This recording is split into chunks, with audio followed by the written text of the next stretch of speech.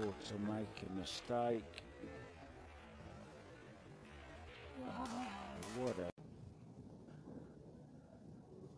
Hello，大家好，我是熊哥。您刚刚看到几秒钟张荣林非常漂亮的解到二号球，那这个球可以从两颗星加二字跟三颗星来说明跟解释这一颗球的路线。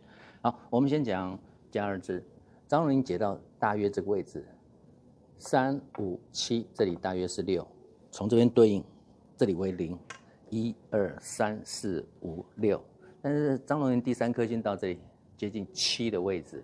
那为什么没有到这里？因为它力量蛮大的。当我们旋转值不够大的时候，本来是要六的位置的时候，它会变大。如果说我们旋转值大的话，这样会往这边可能接近五的位置。好，那我们从三颗星来解释一下。四十五度角，两个旋转值就是三颗星，一的路线比较短，二的路线是洗带路线，三的路线是比较长。这是一、二、三，三的路线。它解到这里，所以我们这样平行过来，刚好过中带。它稍微要用力一点，因为它担心中带的问题。好，第一颗星力量大，第二颗星力量慢慢减小，第三颗星怎样？稍微再小一点的时候，它刚好从这里出去是三的路线，所以它漂亮解到二号球。马上示范，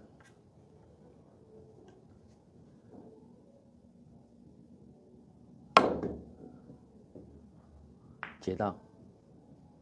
好，我们再示范一次啊。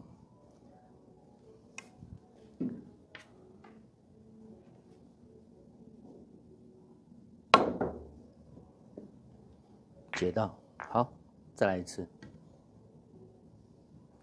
只要稳定性要高。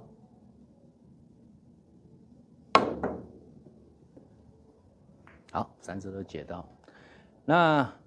因为张龙林他这场比赛，他解这一颗球的时候，他已经是打了好几局了，好几十颗球了。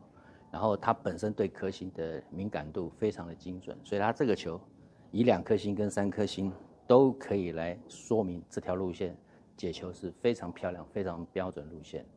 那重点是他怎样？他们在三十秒内，他要很快看到这个点，然后另外一个他的出杆 A K 点要非常稳定，而且判断的第一颗星，我旋转值。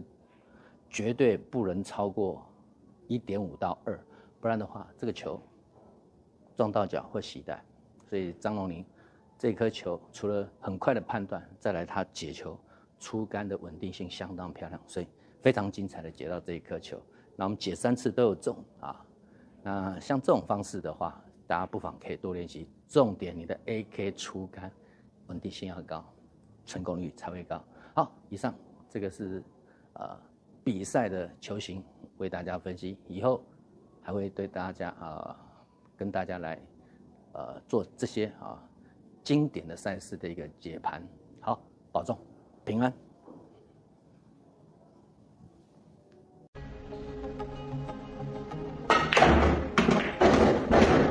大家好，我是铁恩，喜欢熊哥撞球教室的朋友们，请记得按赞、订阅、分享和开启小铃铛哦。